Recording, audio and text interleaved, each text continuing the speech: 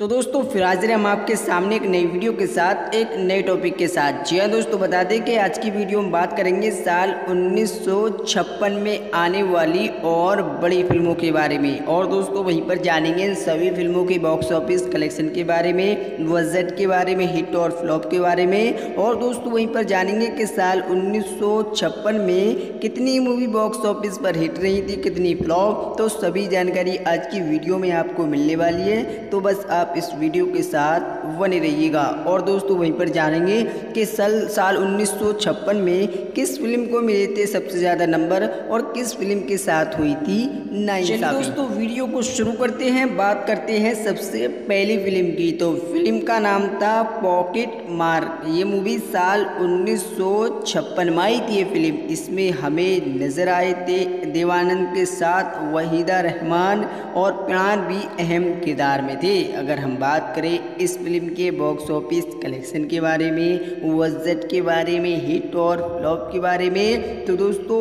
आपकी जानकारी के लिए बता चलूँ कि इस फ़िल्म का बजट तीस लाख रुपए था इसने बॉक्स ऑफ़िस इंडिया पर लाइफ टाइम पैंतीस लाख रुपए कमाए थे।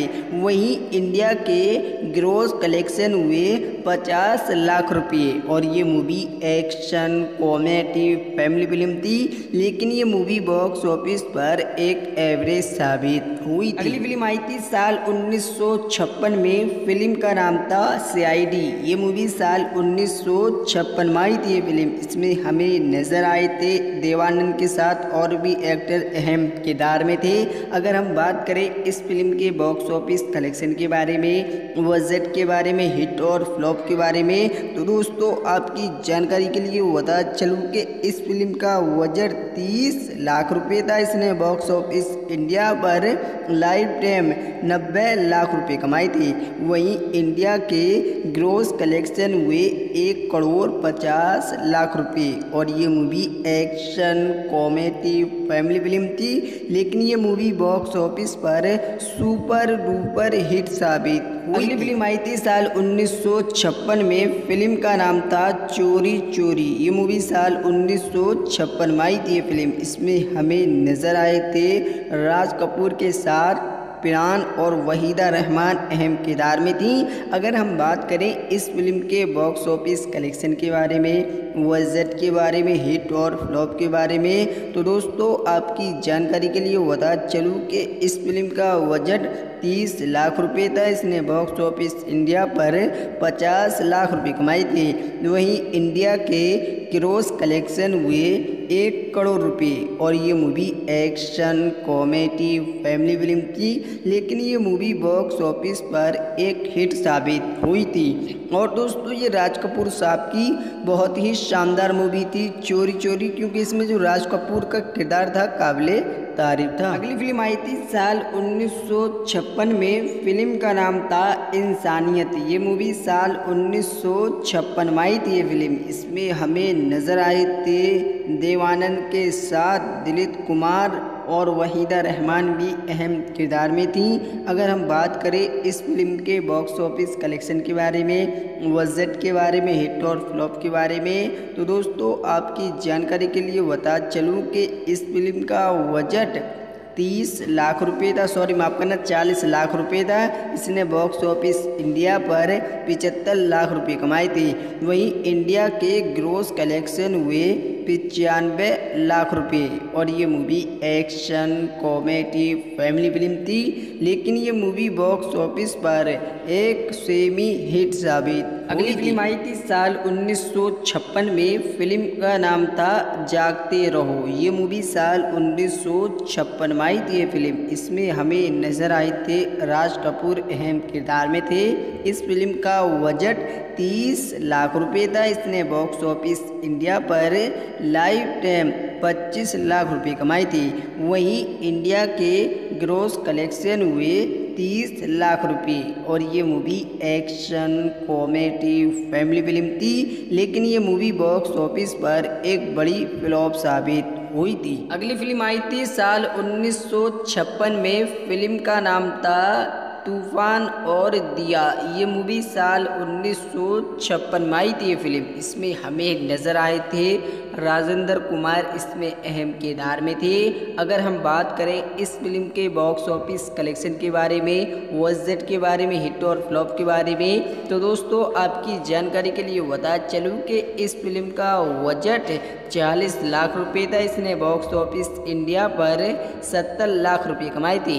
वहीं इंडिया के ग्रोस कलेक्शन हुए एक करोड़ रुपए। और ये movie action comedy family film थी, लेकिन ये मूवी बॉक्स ऑफ़िस पर एक बड़ी हिट साबित हुई अगली फ़िल्म आई थी साल उन्नीस सौ छप्पन में। फ़िल्म का नाम था फाटूस ये मूवी साल उन्नीस सौ छप्पन में आई थी फ़िल्म इसमें हमें नज़र आए थे देवानंद। इसमें अहम किरदार में थे। अगर हम बात करें इस फ़िल्म के बॉक्स ऑफ़िस कलेक्शन के बारे में, वजट के बारे में हिट और फ्लॉप के बारे में। तो दोस्तों दोस्तों आपकी जानकारी के लिए बता चलूँ कि इस फ़िल्म का बजट 25 लाख रुपए था। इसने बॉक्स ऑफ़िस इंडिया पर 36 लाख रुपए कमाई थी। वहीं इंडिया के ग्रोस कलेक्शन हुए 70 लाख रुपए। और ये movie action comedy family film थी। लेकिन ये मूवी बॉक्स ऑफ़िस पर एक बुरी तरीके से एवरेज साबित हुई अगली फ़िल्म आई थी साल उन्नीस सौ छप्पन में। फ़िल्म का नाम था आवाज़। ये मूवी साल उन्नीस सौ छप्पन में आई थी ये फ़िल्म। इसमें हमें नज़र आए थे राजेंद्र कुमार के साथ और भी एक्टर अहम किरदार में थे। अगर हम बात करें इस फ़िल्म के बॉक्स ऑफ़िस कलेक्शन के बारे में वजट के बारे में हिट और फ्लॉप के बारे में तो दोस्तों, आपकी जानकारी के लिए बता चलूँ कि इस फ़िल्म का बजट 25 लाख रुपए था। इसने बॉक्स ऑफ़िस इंडिया पर लाइफ टाइम 26 लाख रुपए कमाए थे। वहीं इंडिया के ग्रोस कलेक्शन हुए बत्तीस लाख रुपए। और ये movie action comedy family film थी। लेकिन ये मूवी बॉक्स ऑफ़िस पर एक बड़ी फ्लॉप साबित हुई थी। अगली फ़िल्म आई थी साल उन्नीस सौ छप्पन में। फ़िल्म का नाम था रंगीन रातें। ये मूवी साल उन्नीस सौ छप्पन में आई थी फ़िल्म। इसमें हमें नज़र आए थे संजीव कुमार। इसमें अहम किरदार में थे। अगर हम बात करें इस फ़िल्म के बॉक्स ऑफ़िस कलेक्शन के बारे में वजट के बारे में हिट और फ्लॉप के बारे में तो दोस्तों, आपके लिए बता चलूँ कि इस फ़िल्म का बजट तीस लाख रुपये था। इसने बॉक्स ऑफ़िस इंडिया पर पचहत्तर लाख रुपए कमाए थे। वहीं इंडिया के ग्रोस कलेक्शन हुए पचानवे लाख रुपए और ये movie action comedy family film थी। लेकिन ये मूवी बॉक्स ऑफ़िस पर एवरेज साबित हुई तो दोस्तों ये रही साल उन्नीस सौ छप्पन में आने वाली कुछ और बड़ी फ़िल्में। तो इन सभी फ़िल्मों में से कौन सी मूवी आपके ज़्यादा पसंद है अपनी राय कमेंट बॉक्स में ज़रूर दें। और दोस्तों फ़िल्में नहीं हो या पुरानी सभी इन्फॉर्मेशन अपडेट आपको इस चैनल पर मिलती रहेगी। तो दोस्तों अगर चैनल पर नहीं है तो चैनल को ज़रूर सब्सक्राइब कर ले क्योंकि आपके ही लाइक से हमारी